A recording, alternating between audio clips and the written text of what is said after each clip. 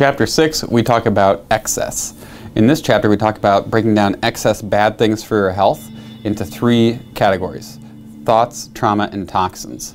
So, the thoughts section has to do with all the excess negative thoughts and belief systems that you have that might be keeping you from getting better. In the trauma section, we talk about all of the structural aspects of health, such as broken bones, bad posture, misalignments in your body, basically all the negative movement patterns and structural conditions that could be keeping you from getting better.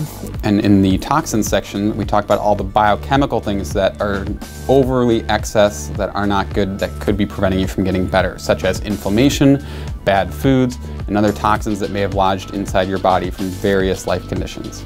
So if it sounds like you have any of these issues where there might be some component of your health that's not serving you, this chapter is for you.